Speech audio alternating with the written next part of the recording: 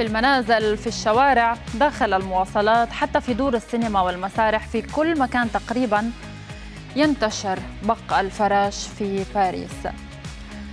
مدينة الحب والرومانسية التي اشتهرت بأضوائها وأناقتها تتعرض لغزو كبير من الحشرات. التقارير الصحفية وصفت الحالة بأن الغزو الكبير بعد انتشار حشرة بق الفراش في معظم الشوارع والمناطق الباريسية لدرجة دفعت الحكومة لعقد اجتماع عاجل خلال الفترة القادمة لبحث أسباب الغزو والتصدي له وأيضا تسخير الإمكانات لمواجهة هذه الحشرة.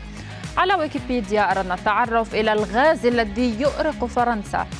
بقى الفراش مشاهدينا هي حشرة صغيرة بنية اللون تتغذى على الدماء. هي أكثر أنواع الحشرات تأقلما على العيش مع البشر والسبب في انتشارها عدم النظافة. الصحفي الفرنسي باسكال برود أثار زوبعة كبيرة في فرنسا عندما اتهم المهاجرين بالتسبب في أزمة انتشار البق في الشوارع والمنازل. وهو الأمر الذي أثار موجة من الغضب ضده. بسبب اعتبار هذه التصريحات عنصرية وتلقي بالمشكلة على عاتق المهاجرين فقط.